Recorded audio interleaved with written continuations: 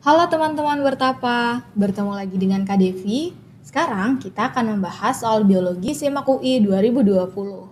Oke, langsung kita mulai aja. Di sini ada soalnya. Jaringan tumbuhan tersusun atas dua tipe, yaitu jaringan permanen dan jaringan meristematik. Karakteristik jaringan permanen antara lain yang pertama, penyimpanan cadangan makanan berperan dalam proses fotosintesis, melindungi bagian luar tumbuhan. Yang keempat, memiliki ukuran sel yang isodiametris.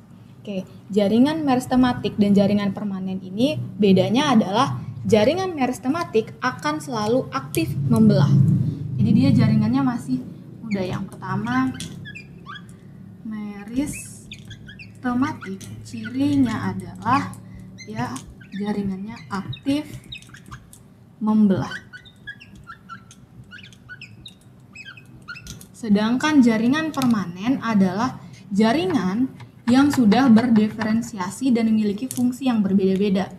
Ini jaringan permanen. Contohnya ada apa aja sih di jaringan permanen? Kalau jaringan meristematik hanya ada satu, ada jaringan meristem. Kalau permanen ada jaringan epidermis, kemudian ada jaringan silem, floem, ini jaringan vaskular, kemudian ada jaringan parenkim, lalu ada kolenkim, kemudian ada mesofil yang letaknya di daun. Nah, ini beberapa dari jaringan permanen. Nah, yang ditanyakan karakteristiknya. Di sini ada fungsinya sebagai penyimpan cadangan makanan. Kira-kira itu ciri dari permanen atau meristematik. Itu adalah ciri dari permanen. Kenapa? Karena meristematik aktif membelah, artinya dia fokus di pertumbuhan.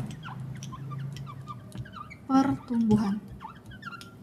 Ini adalah fungsi utama dari meristematik. Udah selesai, dia hanya untuk pertumbuhan. Entah itu pertumbuhan batang, akar, ataupun daun fokusnya untuk pertumbuhan. Sedangkan permanen dia bisa untuk menyimpan cadangan makanan, contohnya mesofil pada daun itu bisa sebagai menyimpan cadangan makanan.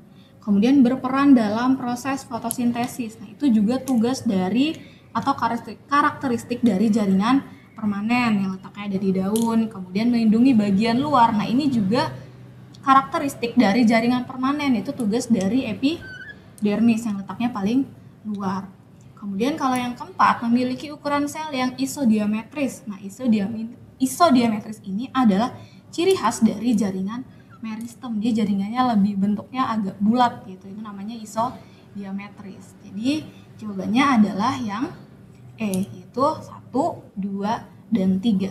Bisa untuk menyimpan cadangan makanan, berperan dalam proses fotosintesis, dan bisa juga untuk melindungi bagian luar. Intinya adalah kalau jaringan meristem fokusnya adalah untuk membelah, artinya dia untuk pertumbuhan.